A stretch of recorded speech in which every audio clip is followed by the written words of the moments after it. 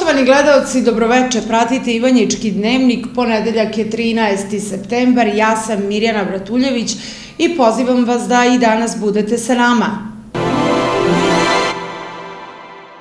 U Ivanjici, nažalost, epidemija ide uzlaznom putanjom. Juče je 117 lica testirano, a antigenski test je pokazao da je njih 74 pozitivno na COVID-19. Ivanjica polako, ali sigurno ide ka crvenoj zoni. S razmerno broju stanovnika situacija nije obećavajuća, a po rečima epidemiologa doktora Milorada Dramićanina, na rast broja obolelih je uticao veliki broj okupljanja na veseljima prvenstveno. Ovaj delta soj je zarazniji, obolevaju mlađi ljudi i imamo obolelih koji leže u Kruševcu i u Batajnici. Pa evo ja moram da kažem da u Ivanjici epidemija korone bukti, da se mi polako i po broju pregleda koji imamo u COVID ambulanta i po broju testiranih, a i po broju pozitivnih ljudi približavamo onom broju kad smo imali maksimalna broj oboli, kad smo na dnevnom nivou imali i do 80 zaraženih. Znači, mi smo vrlo blizu toj brojci. Znači, situacija je jako ozbiljna, s tim što ovaj talas ima neke posebnosti koje nismo imali ranije, to je da sad obolevaju uglavnom mlađi ljudi, dosta obolele dece imamo, što jako komplikuje priču, jer deca idu u školu i jako šire zarazu i naravno šire zarazu i na svoje ukućane. Imamo da imamo ovaj svoj virusa koji je jako zaraz, zaraznije, znači kad uđu u kuću, malte ne, svi se razbole, to je nepisano pravilo. Ono što komplikuje situaciju, to je dalje država je dozvola ova javna okupljanja, svadbe, sa pojedinih svadbi imamo i po sto zaraženi posle toga dođu, tako da smo mi bukvalno nemoćni, otprilike sve puca po radnicima, lekarima, sestrama i drugim zaposlenima u domu zdravlja koji rade u, ovaj, u ovom sistemu. Ne znam šta, šta, šta bih mogao da poručim ljudima, osim da se pridržavaju mjera, da nose ove maske, da izbjegavaju te boravak u zatvorenom prostoru, da ima više ljudi, jer je šansa da se oboli jako velika. I ono da uputim apel mladim Ivanjičare, mladim ljudima da dođu da se vakcinišu, znači jer vakcina je najsigurnija zaštita i najbolja preventiva kod svih zaraz bolesti, a posebno kod ove proverili smo, znači nije ovo sad neka priča, podelili smo dosta vakcina, vidimo ko oboleva, znači može da obole i ljudi koji su primili vakcinu, ali verujte, niko od njih neće da umre i niko od njih neće da završi na respiratoru ili gotovo redko ko ode u bolnicu da je vakcinisan bilo kojom vakcinom. Znači, apsolutno je opravdano da ljudi prime vakcinu. Strah od vakcinacije je apsolutno nepotreban. Ja ne razumem ljude koji, koji pričaju protiv vakcine, jer vakcina je nešto najbolje što je medicina mogla čovečanstvu da ponudi. Znači, ako nešto najmanje šteti, a najviše koristi upravo to je vakcina. 25.000 doza smo mi e, pojedinačnih dali u Domu zdravlja u Ivanjici i verujte, nismo imali ni jednu jedinu komplikaciju. Ja sam čak, ima, uveren sam da su ove vakcine bezbednije nego i one vakcine koje primaju naša mala deca, bukvalno koje primaju odnak na, na rođenju pa do svoje 18. godine. Tako da nema nikakvog straha. Drugo, protura se preko društvenih mreža priča da mladi zbog, ste, e, po, e, zbog a, e, ovaj, trudnoće i tako dalje ne treba da prime tu vakcinu. Verujte da to isto zabluda. Mi imamo ovde parove koji idu na van telesnu plodnju i uslov za sve je neće da ih prime tamo na, ovaj, na tu, tu proceduru ako nisu vakcinisani ni buduća majka, ni budući otac. Znači, zašto? Jer će ta, ovaj, ta veštačka plodnja i da uspije, ali e, majka koja zatrudi možda boli od korone i da, da, da, da to dete ne, ne, ne donese na svet. Zato je uslov traže i vakcinaciju. Znači, drugo, ako je vakcina dozvoljena trudnicama da je prime, znači ja ne znam, ne, ne mogu da razumem da se neko ovaj plaši toga. Moram da kažem da i za decu dozvoljeno, znači od 12. godine, bukvalno taj uzrast, i starija deca mogu da dođu da se vakcinišu, uslov je da odu na dečje odelenje da dobiju dozvolu od pedijatra. Pedijatar će proceniti da li su oni zdravi, da li nemaju neke komplikacije, da će dozvolu i deca mogu da dođu da se vakcinišu. Među obolelima ima i vakcinisanih i oni uglavnom imaju lakšu kliničku sliku. Na kućnom su lečenju. Ovaj soj virusa je pokazao da je ovo ipak atak na nevakcinisane. Ugostiteljske usluge su u avgustu bile veće za 2,7% nego prošle godine, a generalno za ceo avgust mesec 0,4%. Ovo su najnoviji podaci Republičkog zavoda za statistiku. Kada je reč o ovim cenama u odnosu na prošlu godinu, najveće povećanje od 4,3% je zabeleženo kod alkoholnih pića. Iza njih je poskupljenje gotovih jela za 3,5%, a na trećem mestu su kolači sa 3,2%. U odnosu na jul za oko 1% su skuplja gotova jela i variva. Podaci su sakupljeni iz hotela, restorana i samouslužnih restorana. Snimanje se obavlja svakog meseca, za svaku vrstu jela i pića se upisuju cene iz cenovnika u vreme ručka na dan uzimanja podataka. Cene prenoćišta se prepisuju iz cenovnika na recepciji. Analizom je obuhvaćeno 40 vrsta ugostiteljskih usluga, jela i pića i prenoćišta u 90 objekata u Srbiji. I dalje je neizvesna sudbina našoj najvećoj kulturnoj manifestaciji. Sajmu knjiga u Beogradu i njegovom održavanju preti samo COVID. Organizatori su potpuno spremni. Velika većina izdavačkih kuća kao zapete puške pripremaju štampanje predviđenih knjiga, Čitaoci su sve nestrpljiviji, ali će o sajmu knjiga kao i prošle godine konačnu reč dati COVID virus. Na nedavnoj sednici odbora sajma, kome su prvi put kao novoizabrani članovi prisustovali predstavnici četiri udruženja izdavača, zaključeno je da se svi planovi prave kao da će manifestacije biti u uobičajenom terminu u poslednjoj nedelji oktobra, ali da se ima u vidu i pogoršana epidemiološka situacija. Za sajam se prijavilo oko 300 izlagača, 50 manje nego u 2019. što je uticalo na raspored štandova u hali 4 u kojoj je iznamljeno 700 kvadratnih metara prostora manje. Književni programi uobičajeni u vreme sajma prepolovljeni su, a zemlje počasnog gosta, bila je predviđena Rumunija, neće biti, a bit će i znatno manji broj izdavača iz inostranstva. Nacionalna služba za zapošljavanje obaveštava svoje korisnike da danas počinje isplata za avgust 2021. uplatom na tekuće račune kod poslovnih banaka. Na Katićima kod Ivanjice održana je trka Katići Challenge Race 2021. godine. Učestvovalo je preko 50 rekreativaca i dece.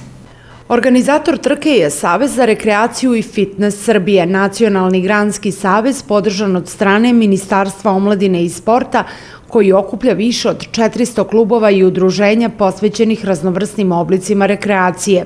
Ispred organizatora govori Aleksandar Ivanovski. Kada je u pitanju uopšte bavljenje fizičkom aktivnošću, kada, kad su u pitanju trke, kada je u pitanju jedan ovakav način spoj sporta i, i prirode, donosi jednu veliku dozu ozbiljnosti i zbog toga mališani na neki način i prihvataju.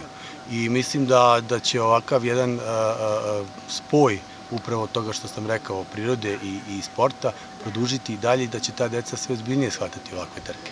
Trka je podržana strane Ministarstva sporta, omladine sporta Republike Srbije, između ostalog, a ono što je važno da sa nama su ove godine i naši verni spoznori, tu je znači Magnal, između ostalog i Hidrostar, e, a vrlo važno je reći da Savez za rekreaciju i fitness Srbije kao i svake godine se trudi da maksimalno obezbedi lepe nagrade, tu je svakako naš sponsor Abela Farm.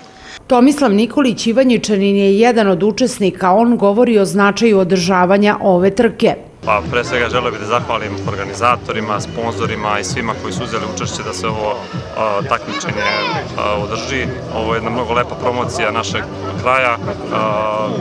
Žao nam je naravno što i pod ovim korona uslovima verujem da bi bilo mnogo, mnogo posećenije, ali staza je bila divna, mnogo lepo sređeno, vreme nam je bilo lepo, stvarno je staza napravljena tako da, da, da pruži pun doživljaj ovo našeg kraja, čistog vazduha, Line Mučanj i Katića kao turističkog mesta i, i, i, i potencijala za razvoj celog ovog kraja. Zahvalim, znači još jednom se zahvalim i da pozovem sve da se nas sledeće godine pridruže na to već trećoj tradicionalnoj trci Katića Challenge Race. Najmlađi su uvek najslađi i ono što je bitno je da razvijaju takmičarski duh. Ovoj dvojici dečaka prepreke nisu bile teške. Učestvovali smo u trkanju. E, trkali smo se 350 metara za medalje. Oni koji nisu učestvovali podržavaju ovakve manifestacije, ali oni sami održavaju formu. To kaže Ratomir Stojković koji duži niz godina živi u Beogradu, a preko leta dolazi na Katiće u svoj rodni kraj. Pa sve što su sportske aktivnosti su dobre. Za mlade, za starije, za muško, za žensko. Ali mi nismo još naklonjeni toga. Još se nije to ne popularizovalo, niti ovaj, treba malo više aktivnosti. Ja sam tu ovaj, sa suprugom i evo četvrti mesec sam tu. Redovno prepodne i poslepodne imam šetnju 2 do 3 km i to ukupno negde oko 8 do 10 km prelazim dnevno. Turistički potencijali generalno svih mesta u Srbiji su neiskorišćeni. Ono na čemu treba raditi kao društvo i kao sistem, to je upravo promovisanje ovakvih potencijala i ovakvih mesta, davanje mogućnosti ovakvim mestima da iskažu svoju lepotu i da privuku što veći broj turista. U šestom kolu Prve lige Srbije u futbalu Javor Matis je odigrao nerešeno sa Šabačkom mačvom. Na stadionu kraj Morovice nije bilo golova. Po svim izgledima Javor Matis će žaliti za propuštenom prilikom da ubeleži sva tri boda na svoj konto, ali šta je tu je. I tako je kako je. Posle utakmice na konferenciji za novinare obratili su se treneri obe ekipe. Ako postoji ona izlizana, onda, onda moram da je kažem, bila je ovo jedna onako dosta tvrda, čvrsta prvenstvena utakmica gde smo mi došli u nekom dobrom momentu za razliku od ekipe Javora. Mislim da smo prvo polovreme imali, imali više od igre, ne od igre, stvorili smo neke konkretnije situacije i znali smo i, i, i kad je uvođenje Lukovića u pitanju da će to ovaj, doneti kvalitet više ekipe Javora. Imali smo mi neke situacije, imao je Tanko situaciju 1 na 1 sa golmanom, nije realizovao, mislim da je to jedini i, i udarac u okvir gola Javora za 90 minuta, tako da moram da čestitam mojim momcima na jednom fenomenalnom odnosu. Izuzetno mlada ekipa, fenomenalna grupa momaka koji, moram reći, iskreno ovaj, igraju preko svih limita, jer biti, biti, imati ovako neku, ajde da kažem, mladu ekipu izuzev Adamovića i Marjanovića koji je danas ušao zbog, zbog povrede Mićanovića, ovaj, sve su to mladi momci i ja im čestitam na tom odnosu. Mi se okrećemo dalje, imamo neke svoje ciljeve ovaj, da, da probamo da nastavimo da igramo u ovom ritmu i mislim da smo na, dobro, na, na dobrom putu. Čestitam ekipi Javora i rekao sam i pred utakmicu i kažem vam sad posle utakmice i ne sumnjam da će kolega Milović izaći iz, iz ovog, ajde da kažem, problema. U futbalu se to uvek dešava. Želim mu puno, puno sreće u tome i da Javor ispuni svoje ambicije u ovoj sezoni. Očigledno da su ova dva prehodna poraza dosta uticala na nas To se videlo pogotovo u prvi 45 minuta gde smo bili totalno smušeni, konfuzni i onako dosta slabo izgledali. Mislim da nismo putili udarac u okvir gola. Mačva, mlada ekipa, brza, tačno se znaju, tačno se zna kako igraju u određenom stilu igre, dosta to dobro rade. Drugo polovreme smo krenuli nešto konkretnije, više ovako na neku energiju, da postignemo gol, imali smo tu dobru situaciju Tanka, nije iskoristio, međutim mač imala mm, jednu, dve ili tri, ne znam tačno, ovaj, dobre situacije.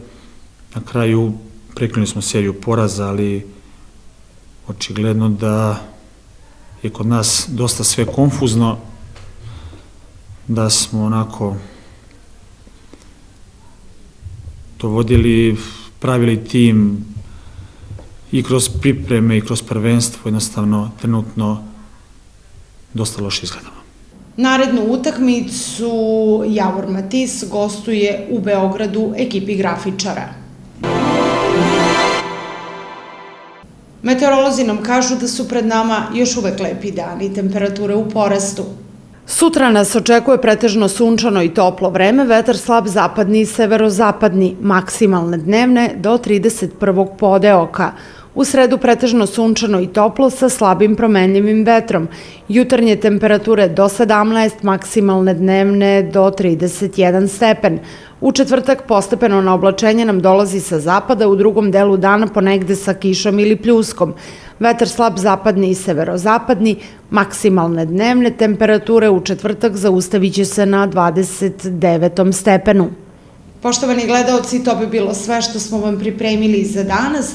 Pozdravljamo vas i želimo vam prijetno veče uz naš program.